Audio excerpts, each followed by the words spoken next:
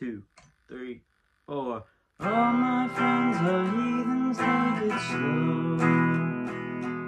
Wait for them to ask you who you know. Please don't make any sudden move. We don't know the half of the view.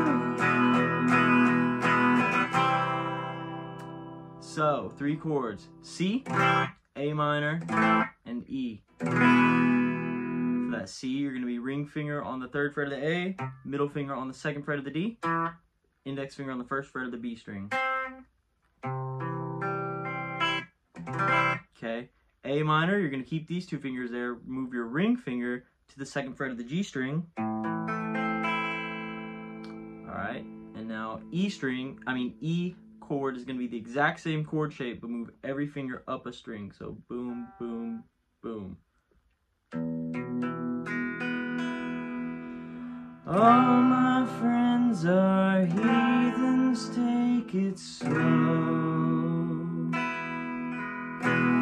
Wait for them to ask you who you know. Alright, uh, and then the verse is like, Welcome to the room of people, people love one day. It's just going A minor to E minor, which is E minor is exactly like the E chord, right?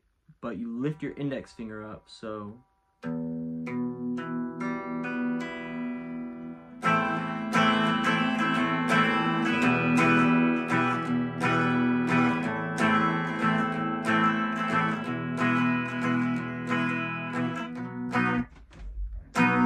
Goes to a B. The